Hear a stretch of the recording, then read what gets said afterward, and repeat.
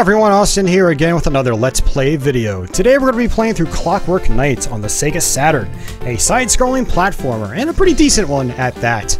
Uh, what we're going to be doing here, though, is actually mixing things up. Normally when I do these Let's Plays, I play on the normal difficulty mode, uh, but today we're going to actually be playing on the hard difficulty, which has honestly been giving me some trouble as far as smooth runs are concerned. Um, but yeah, you actually have three different difficulty modes, basically easy, normal, hard, uh, but we're going to be playing on the hard difficulty setting. Uh, you can crank your lives up to six if you want. Uh, three is the bare minimum. Uh, you can change your controls as well. I'm not going to do that. If, uh, if, you hit the R key, you can actually go to your sound menu, which gives you some stereo and mono options, sound test menu, along with a music player, which is nice. So I actually did not know uh, did not know that this uh, sound menu existed until today because it's not obvious how to access it. It doesn't tell you to hit L or R to go to it. It's just kind of there, and you have to figure it out yourself. So never noticed it before. But yeah, with that, let's go ahead and jump into Clockwork Knight. Hopefully we have ourselves a decent run here. This has actually been a very, very frustrating playthrough to do. Not because the game itself is actually really challenging, but there's just a lot of kind of cheap enemy placement, and you have to be really, really disciplined in this game. If you're not, especially on hard mode, you're just going to slam into enemies left and right, and it's not going to be all that much fun. Uh, so that's exactly what's been happening to me in my my other recording attempts.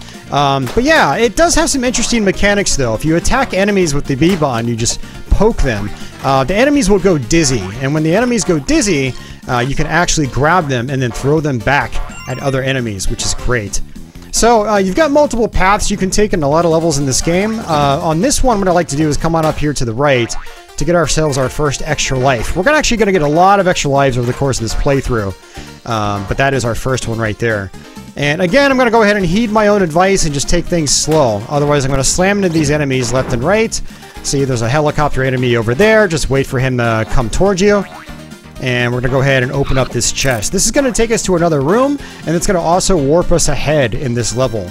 This is one of those levels where you've got multiple paths that you can go.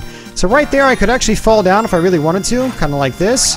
Um, and uh, by doing so, we take the bottom path here, and we can go ahead and kill these enemies. Unfortunately, I can't throw those enemies at other guys because they're just one-hit kill enemies. There are enemies in this game that are one-hit kills. Uh, these coins right here, um, they can be used to play some, uh, some bonus games after each boss in the game. And what I just grabbed there was a silver crank. You have three different crank types. You have bronze, silver, and gold. Uh, the bronze and silver just replenish your health. The gold is the most valuable one, uh, which will allow you to not just replenish your health, but also extend your health bar. And each gold crank you get extends your health bar by one up to five. And uh, we can go ahead and pick up these enemies and then throw them back, or just use our crank. By tapping the B button multiple times, uh, our character here will actually spin his key around, his sword. And uh, what we can also do here if we want is uh, sort of speed run our way through the levels. Uh, you can actually rush through these levels really quickly. Double tapping in any direction allows you to run, and uh, just rolling through these levels really fast like this is super fun. One of the most enjoyable things about this game. Uh, so when you get really good at the game, you can try to speed run it if you want. And what we're going to do here is try to earn ourselves an extra life. Uh, on the top of the screen there, where it says clockwork up top, you'll notice that one of the letters is grayed out. And that letter is the letter that you want to land on on these scrolling letters here to the right. Uh, if you hit that checkerboard pattern area, or if you hit the wrong letter, you don't get anything. The bonus game cancels itself out. Uh, what I like to do is get be uh, you know right in front of that pole, and then just analyze the letters as they're scrolling along the floor. It says clock, then work, then clock, then work. Uh, pretty easy to figure out, actually. You just have to take your time. That's the thing about this game is, you know, even though speedrunning it, when you get good at it, is kind of encouraged because it's fun, uh, it's not what I recommend on a first playthrough. Uh, one thing we can do right here is actually run and then jump and tap this button uh, to reveal this spring, which allows us to jump up here and uh, get us some invincibility. Now, there's a trick right here to get ourselves another extra life. We need to take this bottom path here, and if we do so successfully, we get ourselves an extra life. And there's a silver crank right there. Go ahead and hit that red clock. The red clocks will die instantly. The blue clocks appearing later on in the game take a lot of hits, and they're honestly a little frustrating to deal with. So we can actually crank our way into those boxes. That's going to be a mechanic we're going to be using a lot over the course of the playthrough. And so this is a section where you can go either left or right. Left just reveals some uh, some bonus icons. I don't think you can push this block here, um, but if it's possible and uh, there's someone uh, someone watching that knows how to play this game, definitely let me know in the comment section down below. There's also another one to the right, and uh, again, I don't think you can move it. I've tried and it just doesn't do anything. But this is our first gold crank, and so now we've got four blocks of health. So in Clockwork Knight, you want to try to make sure to not die. I know sometimes easier said than done. Um, and this is one of the blue clocks I was talking about. Now, when you attack enemies in this game, you notice that stars will appear around their heads. And, uh, you know, they do eventually wake back up, so it'll go from three stars back down to two, back down to one, and then they wake up and then you can take damage. So you don't want to try to pick up enemies unless they've got stars floating around their heads.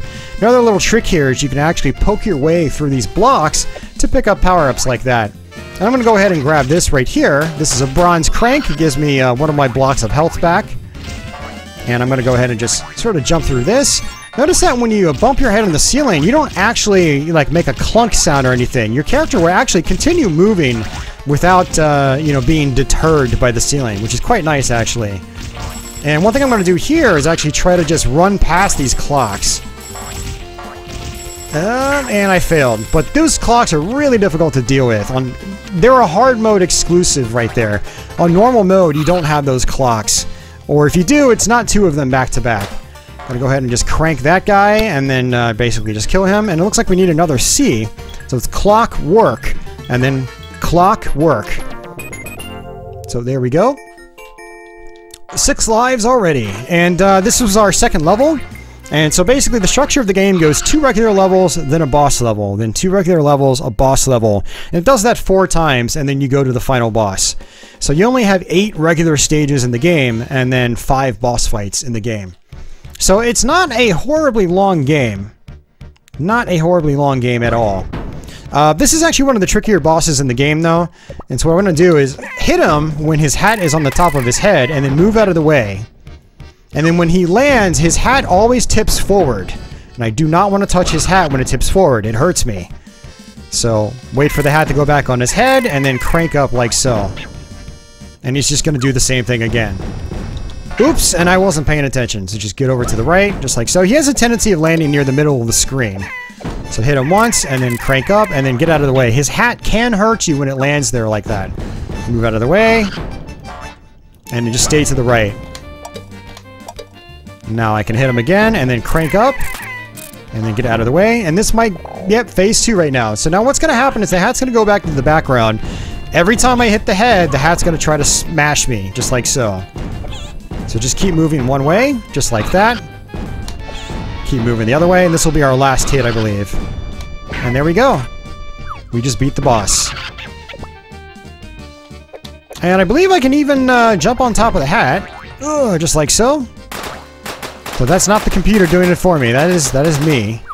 And that's it. Boss one down. A quarter of the game down. Uh, if you will.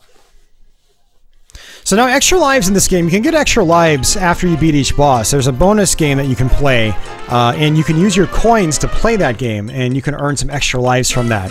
Uh, I'm not going to actually play the bonus game, because uh, it just eats up time, and I'm going to get a lot of extra lives over the course of playthrough normally. Uh, I'll probably end up with something like 20 lives by the end of the game. Let's go ahead and just do farewell. And there we go. Alright, on to Room or World 2.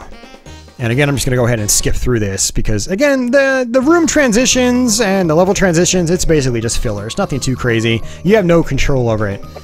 Let's go ahead and grab this football here. So these knights, they actually appear late on in uh, normal mode, but in hard mode they appear much earlier in the game. So I'm going to hit them three times, which makes them raise their shield. And then when they raise their shield, uh, I can hit them in the feet, and then that'll kill them instantly. Oops, I tried poking that guy, but apparently uh, hitting them uh, in the neck or the head doesn't actually do anything. You need to hit the body. Go ahead and just take it nice and slow here. Throw the football there, and I missed. And that's good. The enemies ran into each other. There's a knight behind me. If you push the batteries into those little compartments, uh, you'll actually activate some uh, some mechanical objects, which is kind of cool. So just like so, push the battery in. I'm going to skip the uh, the knight behind me. I'm going to go ahead and just keep moving. So now I definitely want to do this one. And uh, sort of just sit in here, just like so. And that's it.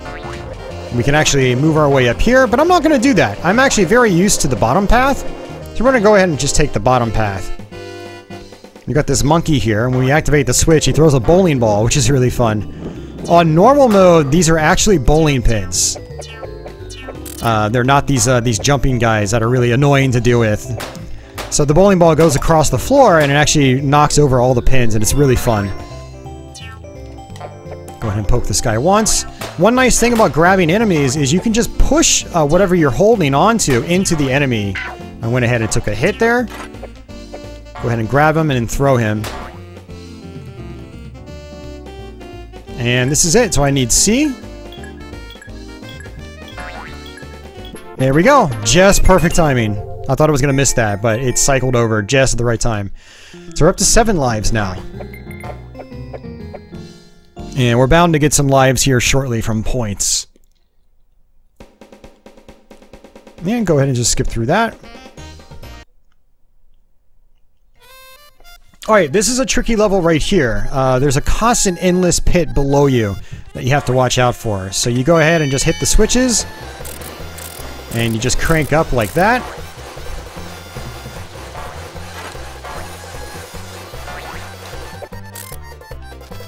Go ahead and throw that robot against that uh, helicopter. Otherwise, you might slam into the helicopter, which I've done many, many times. And grab that crank, uh, and I missed all these coins. You have to actually duck to access those coins. And I'm going to go ahead and just stay this, on this bottom path right here. Go ahead and hit that, uh, that switch. We have to crank open these doors. If you don't, uh, the train will actually get pushed against the door and get knocked backwards, slowing you down. We can just jump forward like this to grab ourselves an extra life, and what I want to do is jump up top here, just like so. And there's some invincibility right here. Go ahead and crank this open, just like so. If I wanted to, I can rush forward and destroy uh, some of these enemies right here, just like that. Gonna move forward. There might be another helicopter guy. Yep. I want to get rid of that guy preemptively. Now there's got to be a clock here, which is really aggravating to deal with.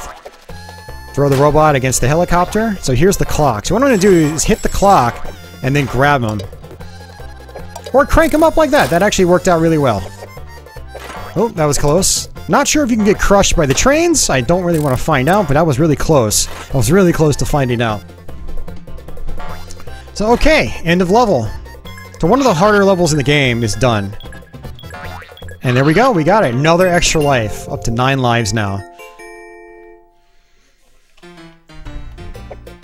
Extra life. So it looks like every 100,000 points you'll get yourself an extra life. So we're up to 10 lives already. And this is our second boss fight. So we have to fight the Sega Saturn Transformer style robot. There's actually a poster of him in the background if you look. It's a Sega Saturn at the bottom. Uh, so two different ways you can go about this. You can actually attack him with uh, the enemies, or you can just run forward and uh, jump and attack just like so. I've actually never seen him do that jump before. That was actually very interesting. So my preferred strategy in this boss fight is just to run and jump and attack him. And you can just get a constant stream of hits. So there's one, run and jump, run and jump. He's blocking and then run and jump. Run and jump, just like that. You can do up to about a maximum of four hits. Any more than that, uh, he pretty much just flies right back off. And he just does this over and over. That's it. Gonna go ahead and just get rid of these enemies. Run and jump. Run and jump. Run and jump. Run and jump. Don't do a regular jump. Always run and jump. So it's basically double tap and then jump immediately. And if you do that successfully, you'll do a lunging jump instead of just a regular jump. The lunging jump goes much farther, and it's faster. There's one. There's another. There's another. Run and jump. There we go. And that's it. He's almost dead. Notice I'm just running to one side of the screen, just like this. Otherwise, the enemies will land right on top of me. Just get rid of them. Run and jump, run and jump, run and jump, run and jump. Boom, he's dead. Good fight. Very good fight, actually. I'm very happy with that. The last time I fought this guy, I took a bunch of hits because I mistimed my, my running and jumping. And of course, you have to attack as well. You have to time that too. But the running and jumping is the most important part because if you don't run and jump, you're gonna you're gonna screw up your rhythm. You're gonna screw up the boss pattern, and then it's gonna be diffi more difficult to take him down.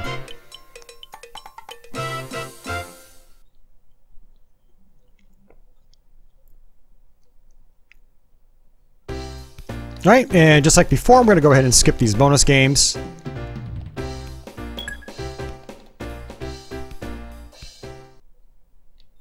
And we're going to go ahead and skip the map screen as well.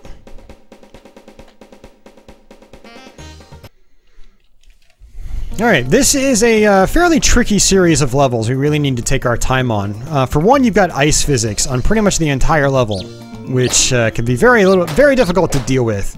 You've also got more of these bouncing enemies, just like so. There we go. There should be another one coming up here just like that. Gonna let him fall into this hole right here. Gotta go ahead and pick up this football. And get a chain reaction going right here, which is nice. Unfortunately, it didn't hit that, uh, that bouncing enemy, which is annoying. And you've got these springs right here. If you don't jump at just the right time, you will actually not fly up. So you need to actually make sure that you hold down the jump button when uh, the spring is at, you know, uh, its bottommost or, or lowermost, lowest, most position. I don't know. English is hard. So we go ahead and just press the jump button while it's all the way down. And go ahead and just take our time here. I'm going to go ahead and just crank. Just like so. Get rid of these guys. Boom. Nice little throw right there. That was actually really good. Crank these guys up. Get them out of here. And there's going to be a silver crank down below. I'm not going to worry about it because my life is already full. But what I will do is actually come this way. Because we might be able to get ourselves another gold crank. There we go. Gotta go ahead and just poke these guys a couple times, then throw. Poke him, and then throw. There we go. Gold crank up to five blocks of health, or five gears.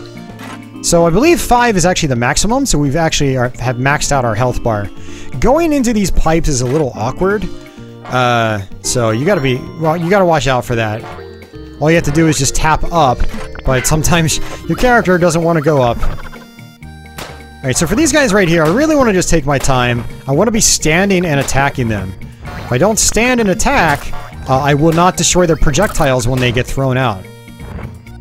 And I'm going to try to just run over here, and we can go ahead and push this soap and then stay on top of the soap. If you stay on top of the soap, you have another extra life opportunity here.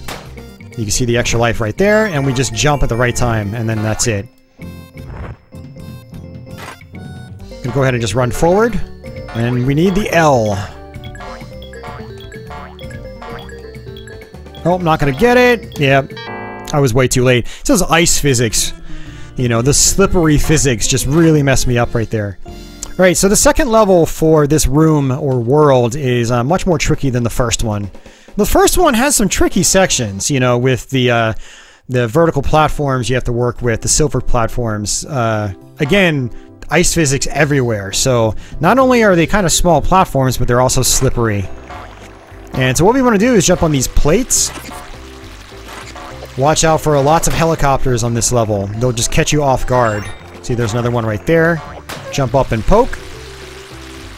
We can land on this spigot. We can land on both spigots if we want, but the problem with landing on these spigots is that, you know, you've got a very, very tight platform to work with. What going to do is grab this crank and then just run and jump over here like so. Wait for this helicopter. Poke it. There's another one right there. And then we run and jump over here. And then come on over here just like that. There we go.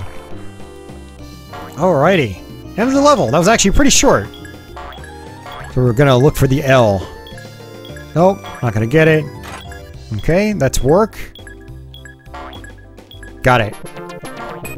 The L's are harder to get, same with the R's, because there's only one. Whereas with C, there's multiple C's, there's multiple K's, multiple O's, uh, but only one one L and one R. So those are tougher to get.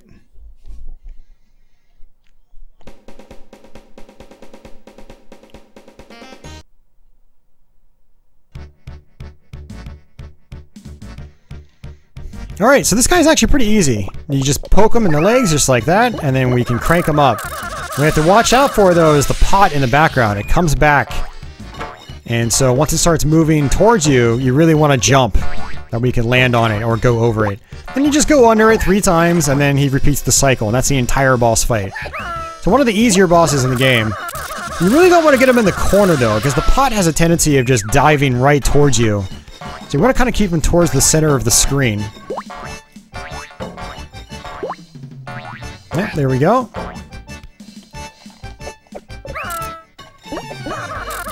Watch out for the pot. Yep, jump just like that. Wait for him to jump. Go underneath them. Go underneath them again. And then hit him in the legs. Just like that. Jump, just like that.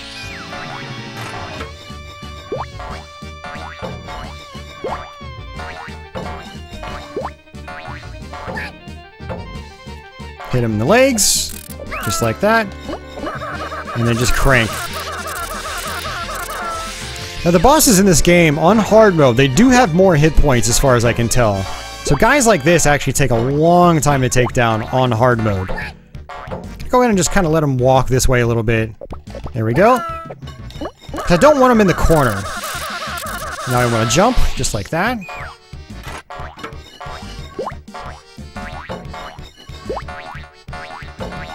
Just jump over him just like so. Poke him in the legs. Jump over. This guy just takes a long time on hard mode. But it's just rinse and repeat. It's, you know, it's not that hard.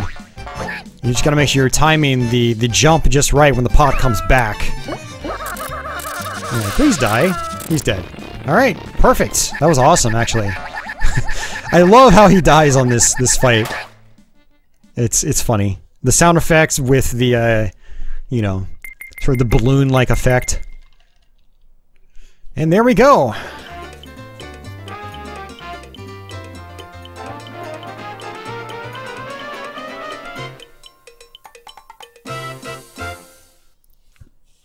Okay. So we're going to skip through the map screen again. And the bonus game, of course. Just hit farewell.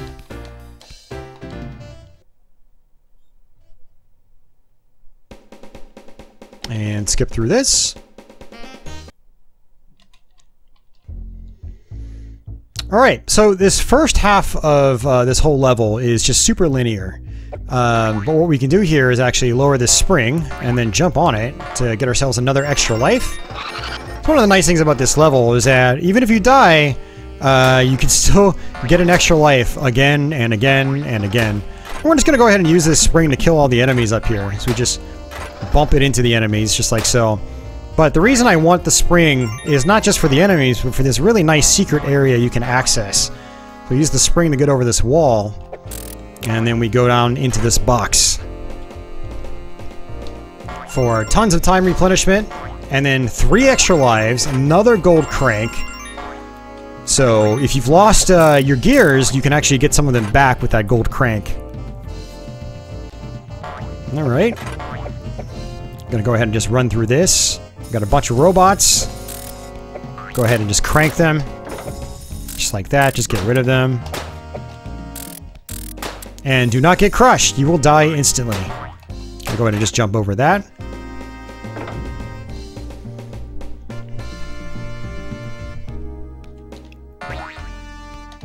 Alright, so these sticks of dynamite, uh, when you attack them, they have a tendency of, uh, you know, ticking down and then exploding.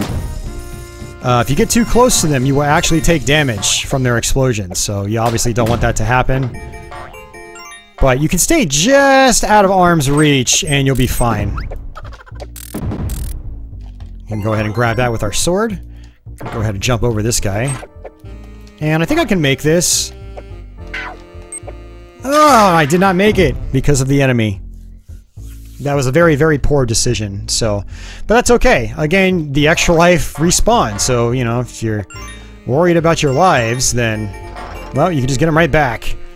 So I'm gonna do the same thing as before. Maybe we can do it a little bit smoother this time, actually. So we can hit that guy, we can hit this guy, we can hit that guy.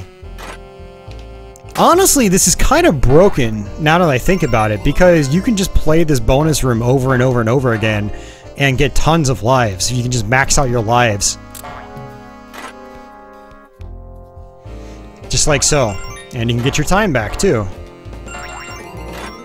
Oh, actually, it looks like it's not. It didn't give us any... Uh, no, it did. It gave us the three lives. It's just... It's delayed. And there we go. So we went from 20 to 23 lives for free. Although we did lose one of our gears because we died. That's unfortunate.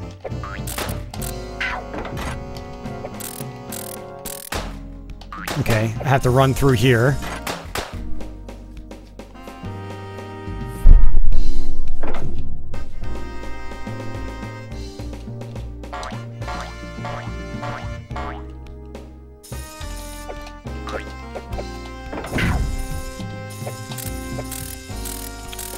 Just use our crank on these guys. Go ahead and just kill that guy like that. And crank up here. Don't want to be too close to these guys because I will take a hit if I am.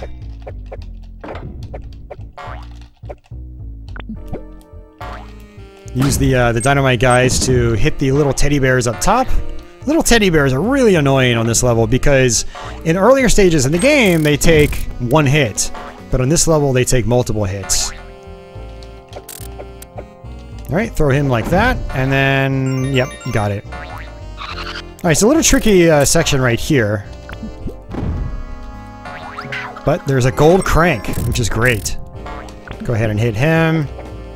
And go ahead and do that, and that was total failure. But that's okay. Very sloppy. We got some invincibility right here, which is nice. Three extra lives again, and I'm, oh, I'm totally gonna die again! Why did I do that? Every time I get to this level when I do my Let's Play recordings, I just seem to fail completely. I'm just complete. I'm still. I'm still in experimentation mode, uh, which is you know a mistake for you know recording a Let's Play. Like I need to have everything down solid when I do a Let's Play, and this is anything but, unfortunately. I mean, it's not bad from an extra live standpoint, but it's absolutely terrible from a gameplay standpoint. It's just very, very sloppy. Let's do this again. And do that again, and this again. Use our spring over here, just like that. And I have to get this a little bit closer. Notice that the spring bounces a little bit when you drop it. And we just go through like that do this bonus room again. I'll take all that time. And what I'm going to do here with these crushing sections is just kind of take my time. That was my problem, is just I'm rushing through without really thinking. And, you know, this is exactly what I talked about in the beginning of the playthrough. If you rush through, uh, you are going to die. Uh, you need to do things just right in this game. So do not rush through. Even if you're really familiar with the game, there are certain parts that you really, really need to take slow, otherwise you are going to die, and this is one of those parts.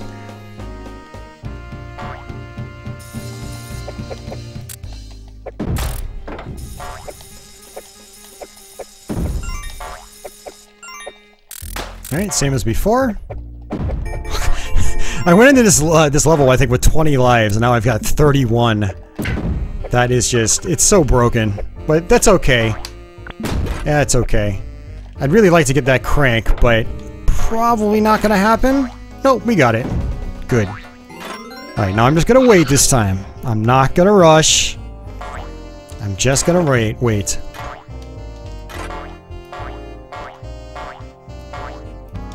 Alright, now we can go.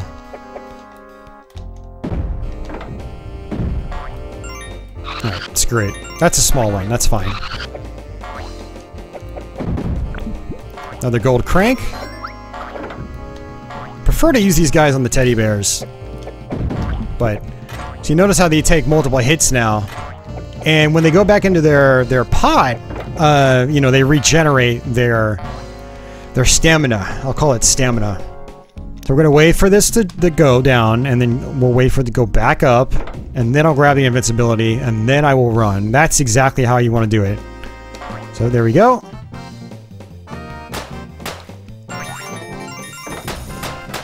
So much easier.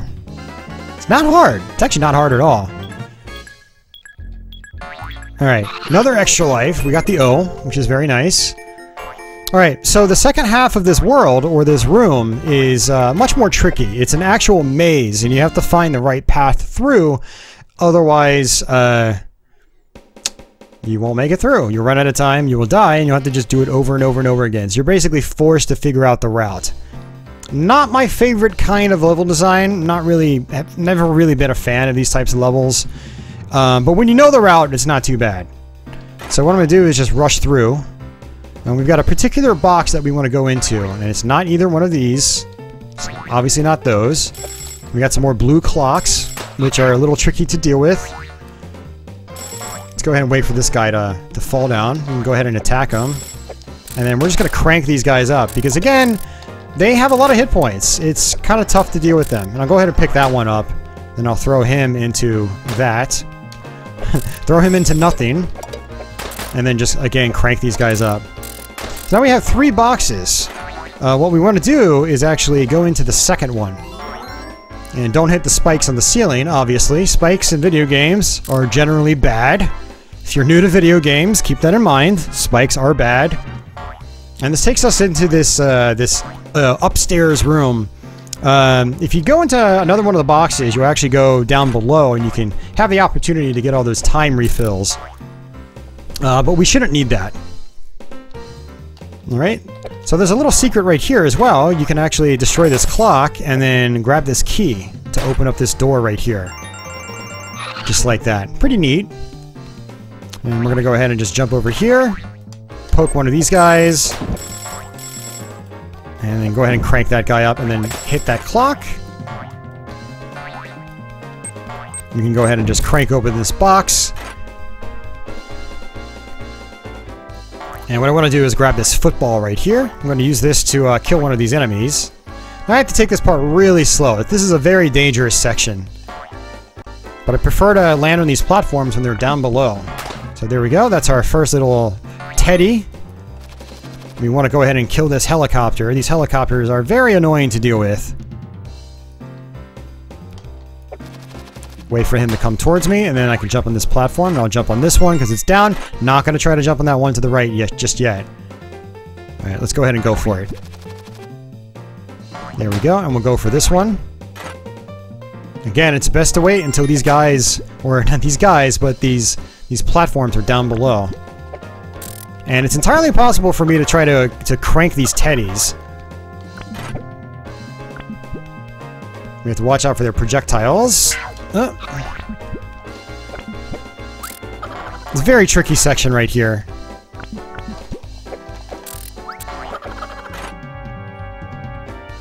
Alright, let's try to jump on this. There we go. Good.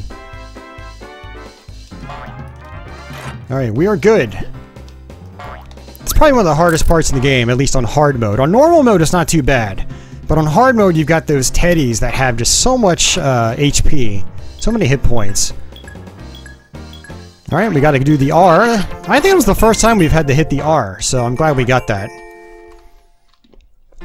And on to the boss fight of this room. And then after we do this boss, uh, we basically go straight to the final boss in the game. So wish me luck here. I'll go ahead and skip that.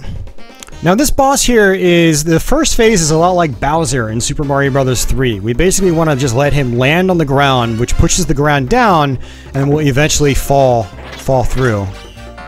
Now he'll sometimes do an attack when he lands on the ground, so we need to watch out for that. We need to analyze his movements. But there we go. Three jumps and now we're on to phase two. You don't you do not have to actually hit him. And he basically drops his head and then we can use his head to toss into this weak spot with the X. X marks the spot. So now there are multiple phases here. First one, he's going to do sort of a Sonic the Hedgehog 2 and a Sonic CD pattern. Where all of his uh, floating parts, they spin around, they spin down. I'm just going to get over here and just wait. Patience is key on a lot of these bosses. I mean, and this game in general, honestly. And the reason I took a hit there is I just got really sloppy. I got greedy, as they call it in the Dark Souls community. You got greedy.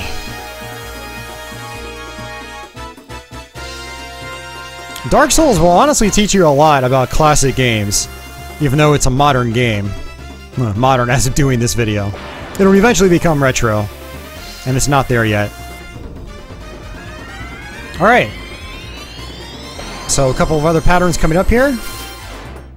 Uh, it's going to actually form some arms as well. And I got really lucky there with that phase. It's going to also fly down towards the bottom like so. So something I haven't mentioned is you can actually, uh, you know, throw objects upwards. You just hold up and uh, let go of the object when you do that. This is where it's going to form some arms. Just like so.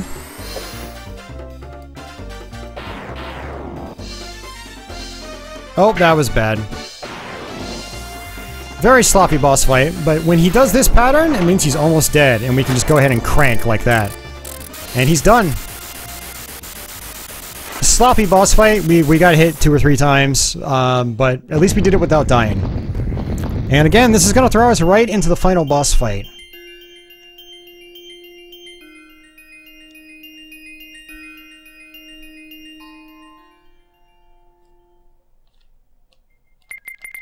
And a little full motion video sequence is going to play. I have 37 lives. Jeez. and I didn't even use a cheat code. Um, from what I understand, there is a cheat code where you get 99 lives or 999 or something like that. And here we go.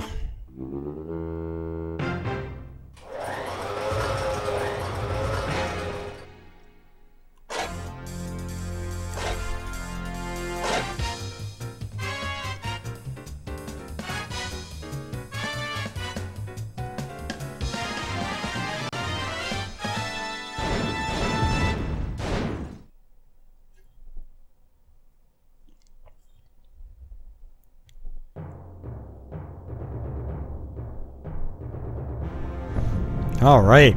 Now this is a tricky boss. Um, so what happens here is his arms come down and you need to attack his arms. And when, when that happens, he takes sort of like his core out and he slams it against the ground. And then uh, on this first phase, basically, they just demonstrate how you damage the boss. So that was just that happening automatically. So now we have to just watch out for these arms. You walk underneath some of them, they'll they'll just try to, you know, pincer you on the, the, the ground. We're going to move to the left, and we're going to go ahead and push this over to the right. He has a tendency of going towards the right after the first bounce. Now, the normal mode boss fight here and the hard mode boss fight is pretty much the same. I think it takes the same amount of hits and everything. And these are going to spin around a little bit, then they're going to eventually try to, uh, you know, pin you down. So you want to just move one direction, and then hit them just like that. He's going to do the same thing, so I always just move down to the left, move immediately to the right, move this over to the right just a little bit, and then boom, just like that. And we just rinse and repeat. Now it's from this point on, his arms will start doing different patterns. They have a tendency of coming in from the sides after a little while. This one's gonna basically fling over down onto the ground like that. You can actually, you can see the arms go back into the background. So move to the left again, and then move to the right. Push this over just a little bit, and then boom, just like that.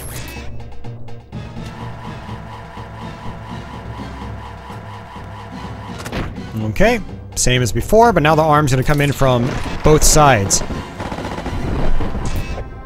Move to the left, and then move immediately to the right. Push this over. There we go. Just rinse and repeat. When you first fight the boss, it's actually really challenging, but once you figure out the pattern, it's actually not bad at all. Boom, just again. Do it again. Alright. Run to the left. Run immediately to the right. Push this over just a little bit. There you go.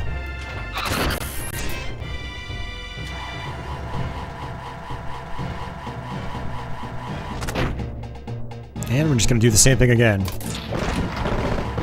Now, some of the arms can be staggered there, so the one on the left sometimes might come in earlier than the one on the right, and vice versa. So you've really got to watch out for that. You just want to stay towards the middle of the screen.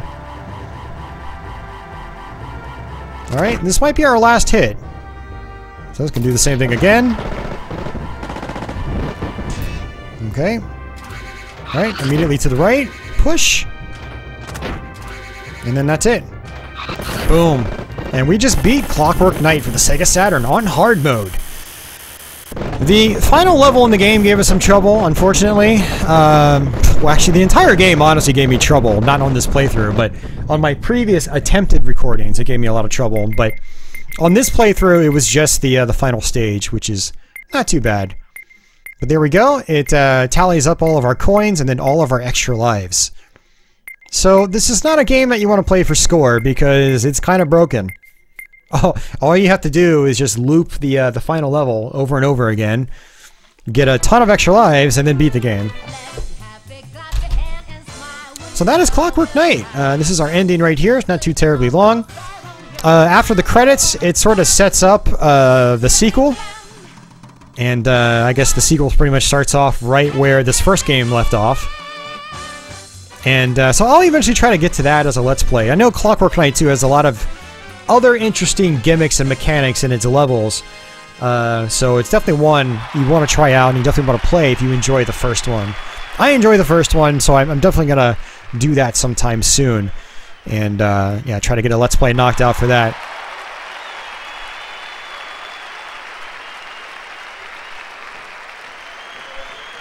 So yeah, again, with Clockwork Knight, the big thing is if you're trying to learn the game, you're trying to beat the game, uh, it's really about taking your time. There are lots of moments in the game where you can try to speed run. Uh, some of the levels seem to be set up, you know, with speed runs in mind, but it's you know one of those games on a casual play where you're just going to slam into enemies left and right. Uh, if you're not taking things careful, if you're not taking things relatively safe, so uh, definitely take your time on a first playthrough. Uh, no shame in that. You can always lower down the difficulty as well to training mode. Uh, there are also some uh, stage select codes and things like that. If you want to practice a very specific level without having to do, you know, the earlier parts of the game, uh, that's an option as well. Also, get used to how your sword works. The sword is a little awkward to use at first. Uh, remember, it's got two functions. You can just, you know, poke it out with a, a, quick swipe, or you can crank it. And cranking it is really good against those enemies with, you know, that, that take more than one hit. Uh, especially on hard mode, where you've got things like the blue clocks uh, that just take many, many hits. So it's good to try to get used to that as well. But yeah, it's a really fun game. If you got a Sega Saturn or you do Sega Saturn emulation, I highly recommend checking out the game. It's a solid platformer. A lot of people talk about this game as an early launch title, uh, treating it kind of as like uh, something you can just sort of forget about. But I think it's definitely one of the more unique Saturn titles, especially one of the more unique early Saturn titles, and it's actually a good game. It's actually well made. Um, it's just short. You know, this playthrough took us uh, I don't know, probably about 35, 40 minutes. Not super long uh, for the kind of game it is, uh, but it's it's a really solid game. I highly recommend checking it out, uh, and then checking out the sequel as well. Uh, if you've never played the games before, you might also have something like a bootleg sampler, and these games are on the bootleg sampler, at least Clockwork Knight 2. I know that's on the sampler volume 2. So, you know, you can check that out, get a good taste of Clockwork Knight 2. Um, they both pretty much play the same and move the same, things like that. Um, but yeah, really good games. Definitely a worthwhile Sega Saturn game. So, yeah, not much else to say, guys. If you have any questions or comments, please post them down below in the comment section. Uh, if you like the video, please give it a thumbs up. Uh, it really helps out uh, sort of the search discovery of these videos. It helps get these videos out to other people that might be interested in them. Um, also, feel free to subscribe if you're new to my channel. Uh, I do lots of Let's Plays here once a week at least as of doing this video. And I've got hundreds and hundreds of Let's Plays in the back catalog. Uh, feel free to sift through them. And uh, yeah, hopefully you'll find something there to enjoy. For everyone already subbed, thank you for your continued support. And uh, I guess until the next one, guys, take it easy.